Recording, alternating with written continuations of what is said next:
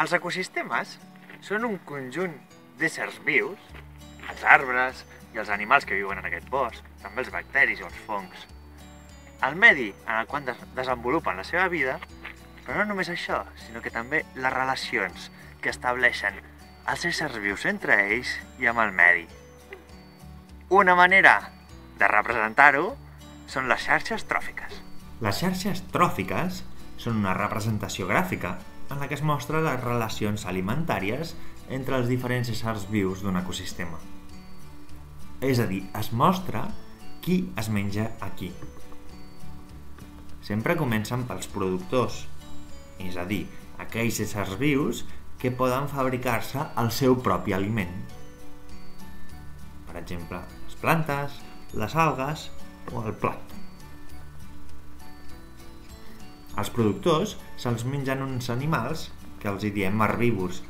Per exemple, l'herba podria ser menjada per un conill o per una ovella.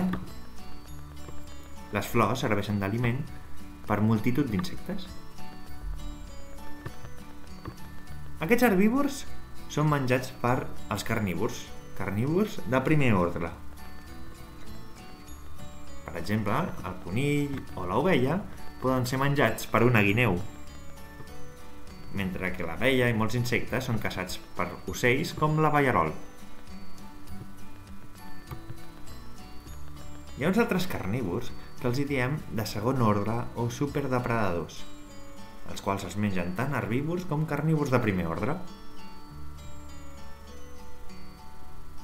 Per posar-vos un exemple, tant el conill com l'ovella poden ser menjades per un llop. El conill també pot ser menjat per una àliga Ara bé, tant el llop com l'àliga poden també menjar-se una guineu i l'àliga pot caçar també a ballarols. Aquests superdepredadors estan al capdamunt de la cadena i no tenen depredadors.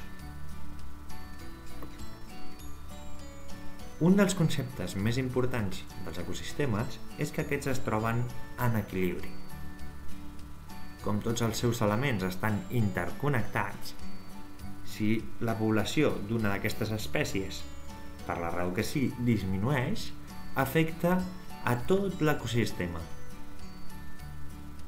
Si la pertorbació no és molt gran,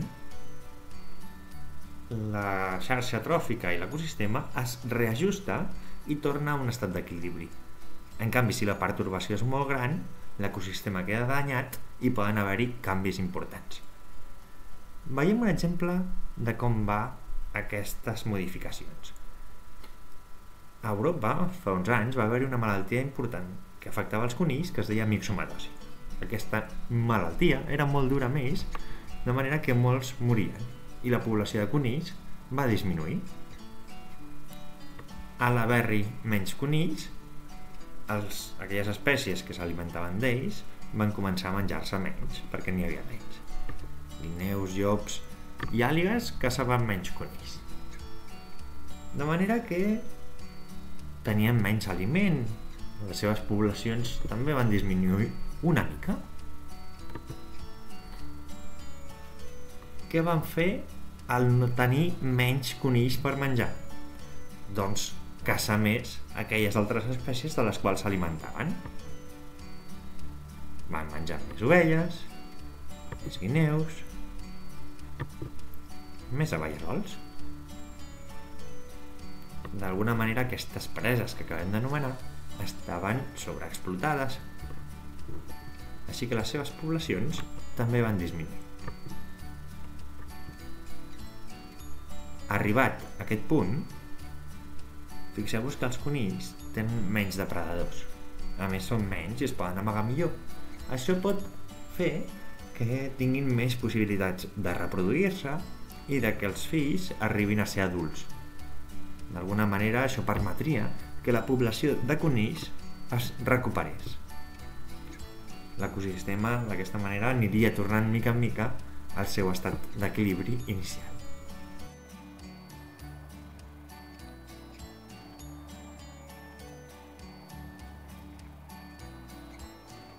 I recordeu que hem de cuidar els ecosistemes. I us explicaré per què.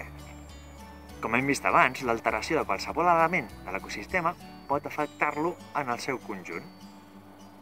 Com dels ecosistemes depèn la salut tant de la Terra com dels éssers vius que hi habiten, inclosos nosaltres, és important que quan els humans explotem o extraiem algun recurs natural, ho fem tenint en compte l'equilibri dels ecosistemes.